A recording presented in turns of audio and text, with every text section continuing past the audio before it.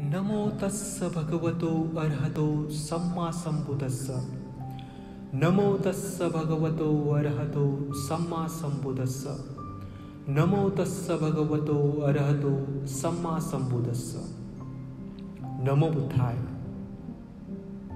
दोस्तों, सम्यक संबोधि YouTube channel में आपका स्वागत है।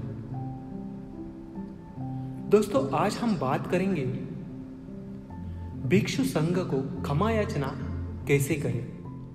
ओकास वंदामि भन्ते, द्वारतेन मया कतं सप्पं अपराधं खमथमे भन्ते।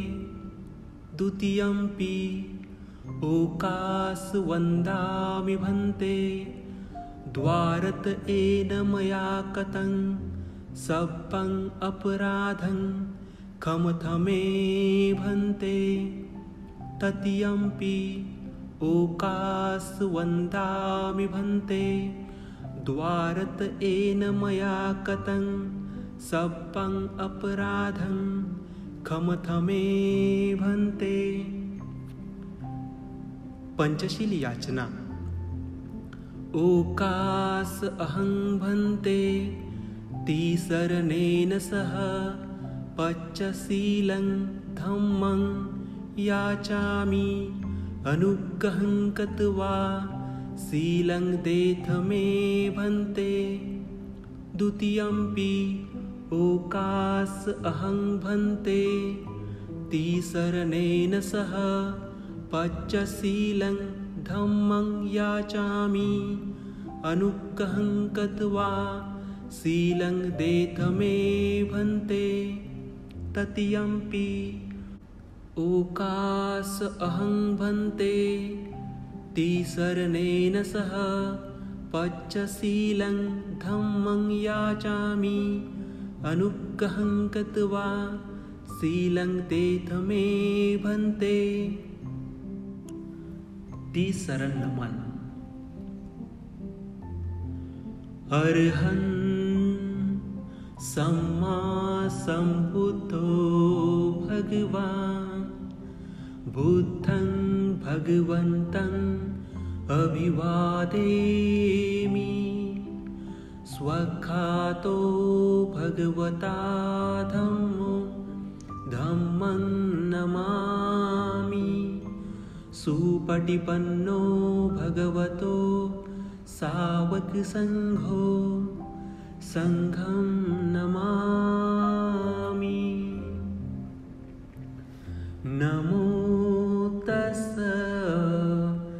भगवतो अर्हतो सम्मा सम्बुदस्स नमो तस्स भगवतो अर्हतो सम्मा सम्बुदस्स नमो तस्स भगवतो अर्हतो सम्मा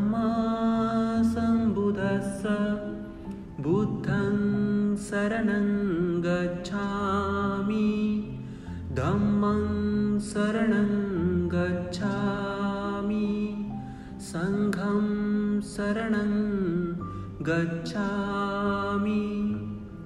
द्वितीयंपि बुद्धं शरणं गच्छामि।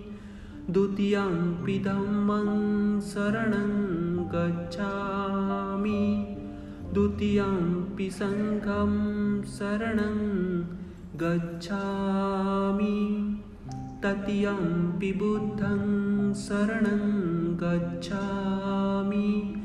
ततीयंपि धम्मं शरणं गच्छामि। ततीयंपि सङ्घं शरणं गच्छामि। पानातिपाता वेरमणि शिखापदं समादियामि। अदिन्नदाना वेरमणि शिखापदं समादियामि। कामेषु मेच्छाचारा वेरमणि सिक्खापदं समादियामि। मुसावादा सिक्खापदं समादियामि सुरामेरयमज्जपमातिठाना वेरमणि सिक्खापदं समादियामि साधु साधु सा